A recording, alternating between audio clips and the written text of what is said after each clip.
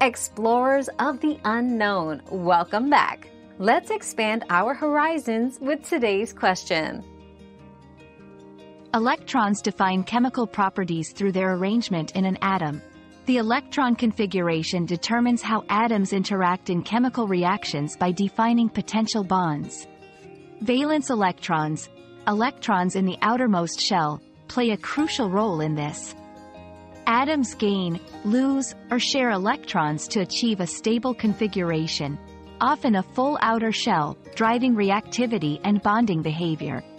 Thus, electrons are fundamental to the identity and behavior of chemical substances.